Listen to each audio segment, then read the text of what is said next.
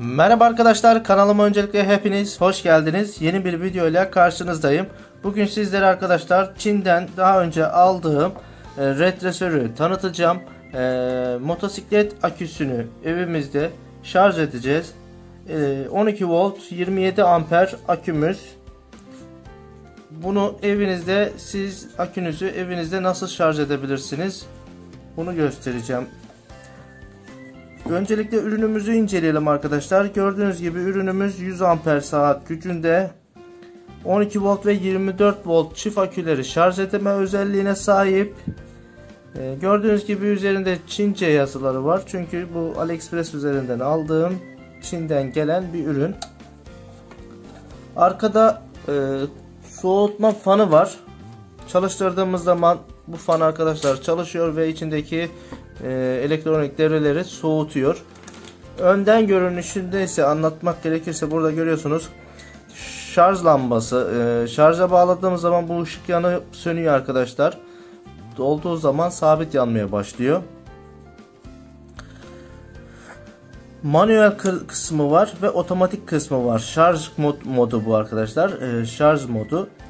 Otomatiğe aldığımız zaman biz bunu akü doluma ulaştığı zaman retrisör şarj etmeyi kesiyor arkadaşlar. Otomatik olarak e, akımı kesiyor ve ona e, darbeli akım aküye yolluyor ve akülerin ömrü bu şekilde uzun oluyor.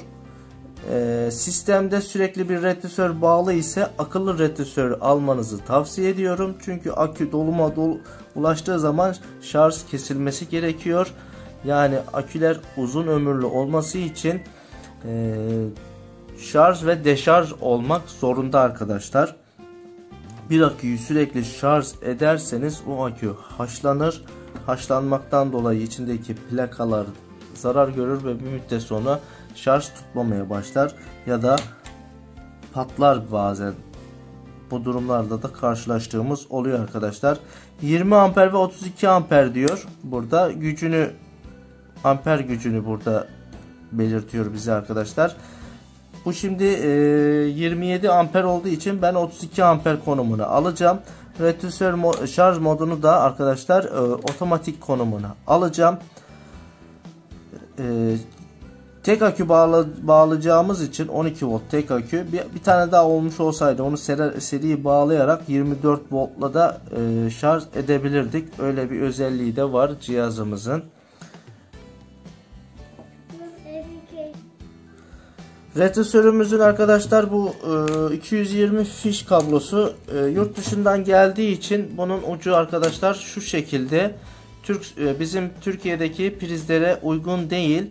Bunu arkadaşlar bir elektrikçiden dönüştürücü aparat alabilirsiniz. Dönüştürücü bir fiş. 5-10 liraya satılan bir ürün bu arkadaşlar. Bizim e, Türkiye'deki prizlerin ayak kısımları yuvaları yuvarlak Avrupa standartlarındaki fişler Avrupa'da böyle arkadaşlar. Çin'de. Bazı ülkelerde 3 tane oluyor. Aynısının bir altta şurada 3 tane oluyor. Şimdi e, dönüştürücü alarak elektrikçiden çok kolay yerleştiriyorsunuz ve bizim Türk standartlarına getirmiş oluyorsunuz fişinizi. Bu 220 bağlantısı bu da akümüzden e, şey radyus e, şarj retesöründen çıkan artı eksi kablolar arkadaşlar. Maşalar, maşalarımız.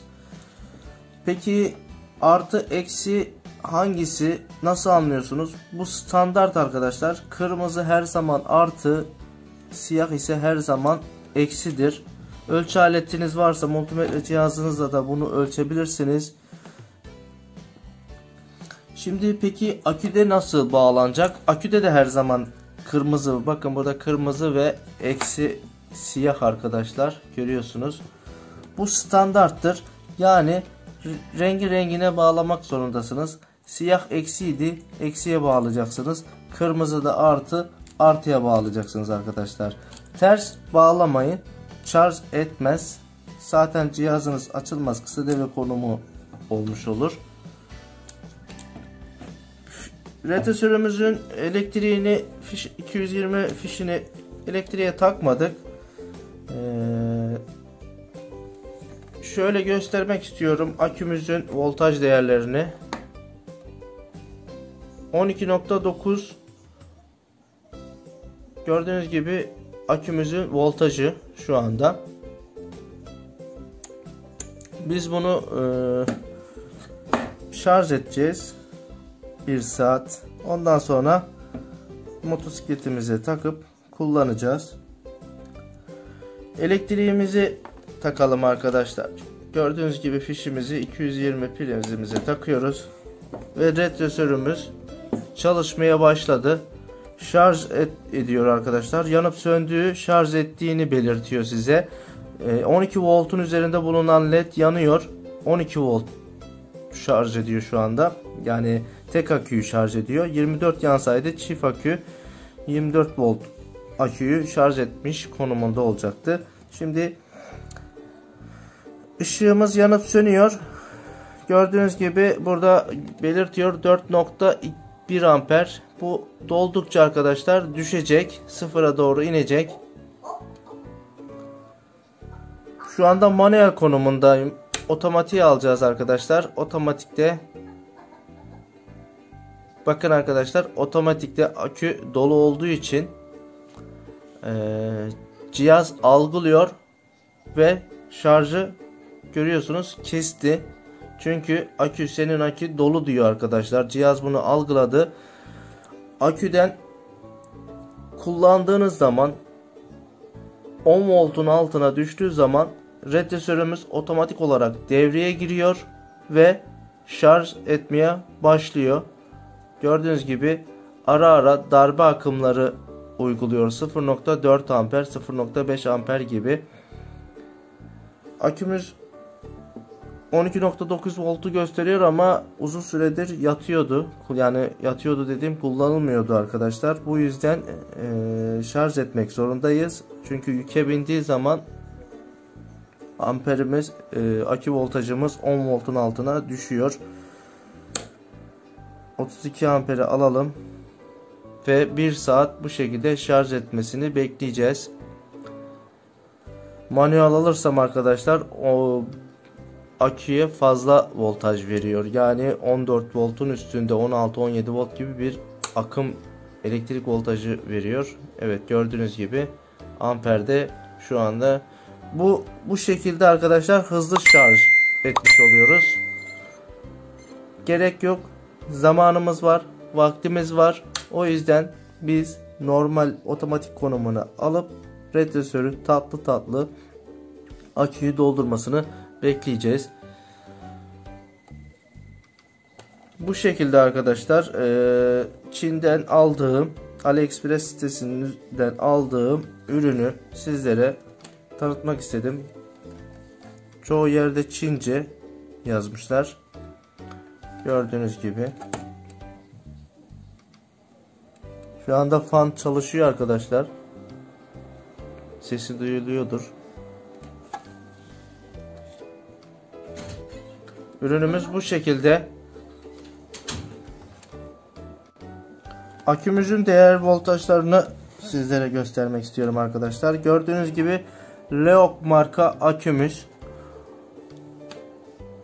12 volt 27 amper gücünde bir batarya motosiklet aküsü demiştik.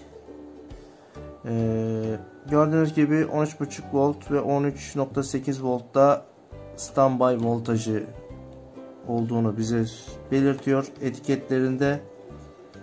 Made in Çin'miş arkadaşlar. Bu akü Çin'de yapılmış. Kuru tip bir aküdür. Akümüz. Retresörümüz arkadaşlar gayet başarılı. 2 ee, yıla yakın oldu. Kullanıyorum. Sizlerle uzun kullanım testi de paylaşmak istedim. Almak isteyenler internet sitesinden alabilir. Ben gayet memnunum. Ee, arabamın aküsünü bile dolduruyor. Normal akülü arabaların aküleri olsun 12 volt 6 volt aküleri de çok rahat bir şekilde arkadaşlar dolduruyor. Kesinlikle tavsiye ettiğim bir üründür. Umarım videom yararlı olmuştur. Bu tarz videoların devamı için kanalıma abone olmayı, videomu beğendiyseniz de beğen tuşuna basmayı lütfen unutmayın arkadaşlar. Bir başka videoda görüşmek üzere. Hoşçakalın.